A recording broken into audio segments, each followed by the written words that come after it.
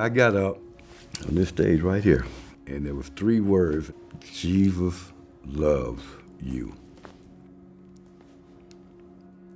That's when my relationship with God started. My childhood was fun, but at the same time, it was hard. I got involved in music in fourth grade. I was given a scholarship for Florida A&M, and that's when I got introduced to marijuana. I went from having a 3.0 to scholastic suspension. After returning home, I took a hit of cocaine. I lost my life that night. I picked up a $300 a day habit. I ended up back and forth, going to rehab, stay 30 days, come out and get high again. I was living on the street, eating out of garbage cans. It seemed like there was no answer. My brother offered to pay my bus ticket for me to come here to the Potter's house. That probably was the best decision I ever made. Then I started to believe that maybe God has something for me and I've let him down. And I was taking care of everybody else, but I wasn't looking out for me. Next thing I know, I'm having a drink.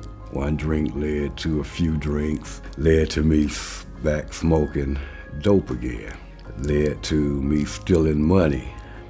Finally, I got found out, and I planned my life, and I said, I'm gonna take myself out. I took the knife and I kept sticking myself. There's a knock on my door, and it ended up being a friend of mine. God, He's never taken His hand off of me, and I don't understand why. So I came back to the Potter House. My hope has been restored. I believe my life is here to be a help to other people.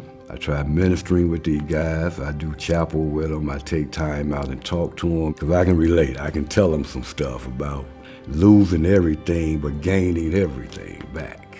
I let them know that this is an opportunity for you to change your whole life. This is not just about getting off of drugs and alcohol. It's just a thing of hope. And that's where my life is right now. People actually like me. Imagine that. I belong somewhere. That's why I'm here today, because this life is not about me. It's about what I can use it for to help somebody else.